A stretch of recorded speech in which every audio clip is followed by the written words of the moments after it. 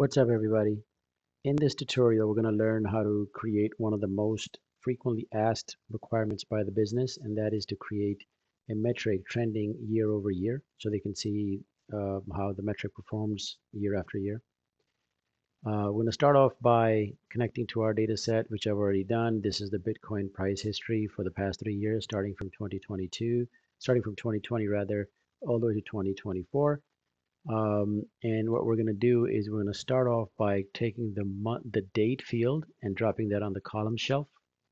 And rather than year, I want the, the actual month. So I'm going to change that to a month. And then next, I'm going to create a, a calculated field, which I've already done, but I'll walk you through exactly what, what's being done here. In this calculated field, I want the max price for, for that particular month, since my view is going to be at the month, month level.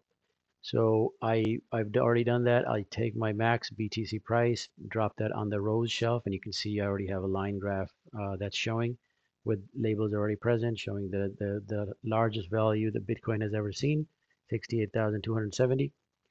Um, what I want to do next is I want to take the date field and I want to drop it on my filters shelf.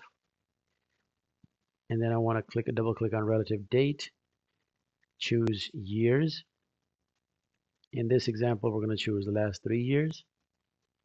Um, and then what, wanna, what, what we want to do now is take the date field one more time and drop it on the color shelf. And just like that, we have a year over year analysis of the Bitcoin price per month, the max price per month. Uh, as you can see, 2022 was not a great year for Bitcoin. 2023 started an upward trend.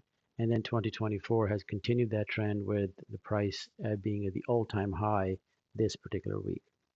Hopefully this helps. Thank you for watching.